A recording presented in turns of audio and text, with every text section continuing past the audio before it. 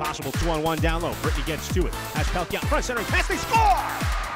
Amanda Pelkey on the sweet feed from Zuback, and the Catamounts have cut the deficit to three to two. Daniel Rancour across the line, slithers it toward the net. Rebound out in front. They score!